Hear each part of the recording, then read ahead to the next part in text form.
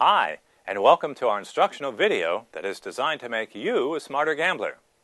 My name is Steve Bourie, and I'm the author of the American Casino Guide, which is the number one best-selling book in the U.S. on the subject of casino gambling and travel, and the only book that comes with more than $1,000 in casino coupons.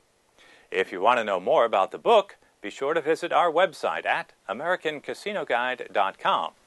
And if you have an iPhone or iPad, be sure to download our free app. Just go to the App Store and search for American Casino Guide. In this video, syndicated gaming writer John Grochowski, who is also the author of six books on casino gambling, gives details on the five best bets that can be made in the game of craps. And now, here's John Grochowski. When we talk about the best bets in craps, we're really talking about the best commonly available bets. Sometimes somebody will offer a bet that's better than some of the ones that were listed here. There, there was a time, for example, that I saw a casino that on the field paid 3 to 1 on both 2 and 12, which is a no house edge bet. I've never seen it again, but we're, we're not going to list bets like that. They're just available short term at one or two places. We're talking about the best commonly available bets in craps, and the best commonly available bets in craps are all multi-roll bets. If it's uh, the bet is decided in one roll, it's probably going to have a higher house edge than some of these. So with that little bit of a warning here, the number five best bet in craps is buying the four or buying the ten. They work just like place bets. Uh, the buy bet means that you are betting that your number will be rolled by the shooter before the shooter rolls a 7. And normally, you would not want to place the 4 or the 10. It's a bad bet with a house edge of 6.67%. But buy bets are an opportunity. You give the house a 5% commission in exchange for getting paid at true odds if you win. In this case, it would be a 2 to 1 payoff on 4 or 10.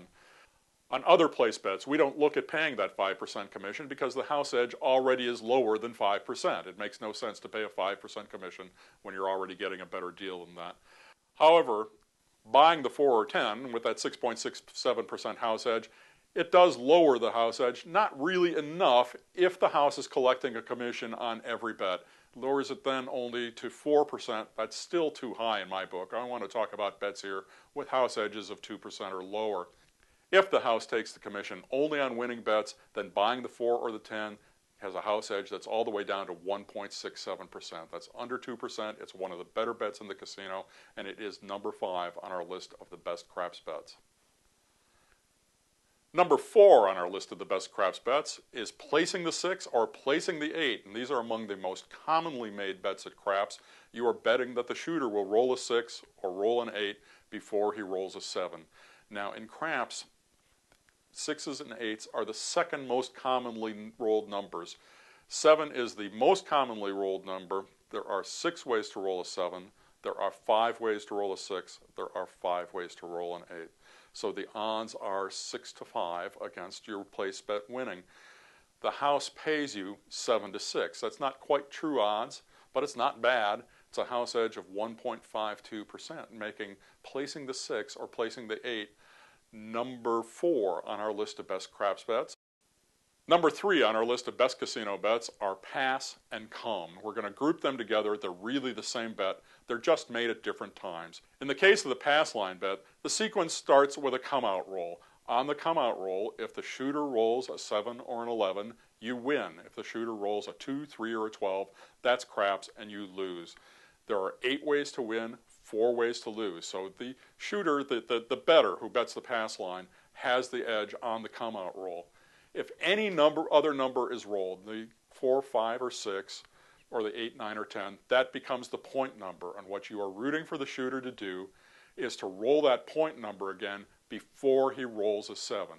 If he does roll the point number again, then you win. If the shooter rolls a seven first before rolling the point number, then you lose.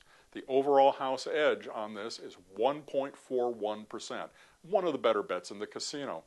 Come bets work exactly the same way, except that you don't have to wait for it to be a come out roll. You can make the come bet on any roll. It's just that the first roll becomes the equivalent of a come out roll for your bet. So at 1.41%, pass and come are the third best bets at the craps table.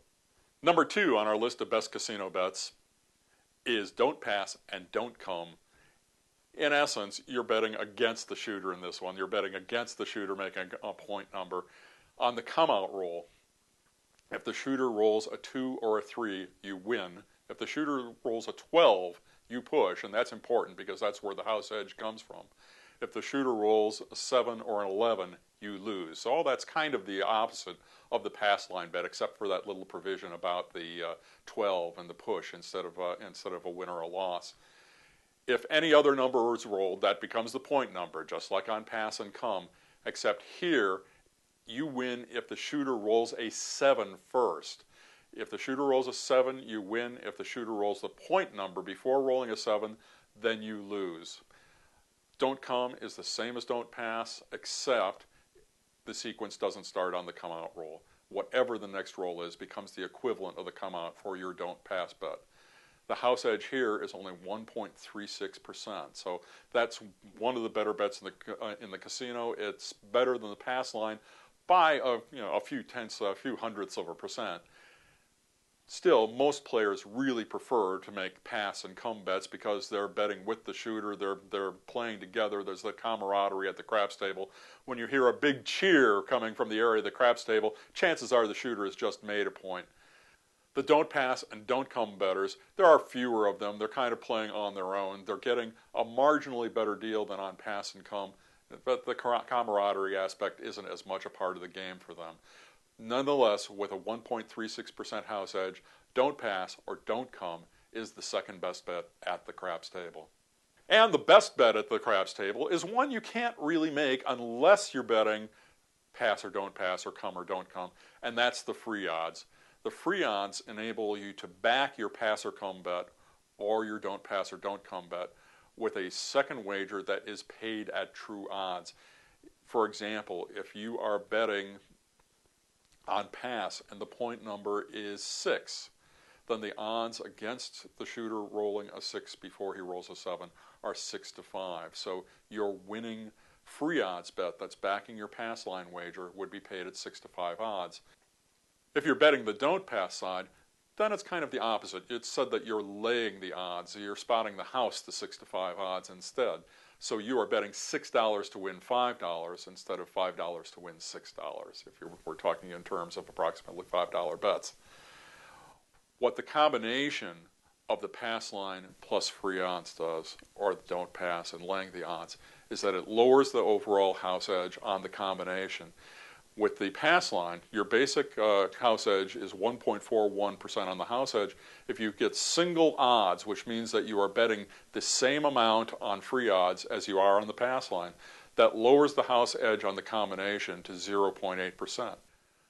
At double odds, where you're betting double in free odds, which you did on the pass line, that house edge on the combination drops all the way to 0.6% at 10 times odds, if you're permitted to bet 10 times the amount as you had on the pass line, that drops all the way to 0.2%.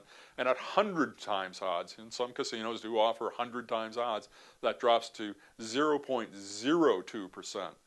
Uh, it's practically no house edge at all. Actually, you, there's always a house edge on the amount that you have on the pass line, but the free odds themselves have no house edge. You are being paid at true odds. What this means for the bettor is that your best play, if you can afford to make the free odds, is to bet the table minimum on the pass line and then make up the rest of your normal betting amount in the free odds. You want most of your wager at the point where the, there's the least house edge, and that's the 0% house edge on the free odds.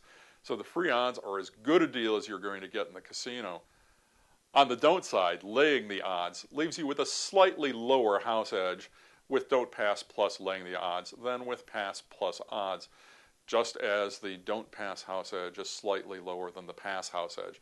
It drops from 1.36% for the don't pass by itself to 0.7% when you lay single odds, 0.5% with double odds, 0.1% with 10 times odds, 0.01% with 100 times odds.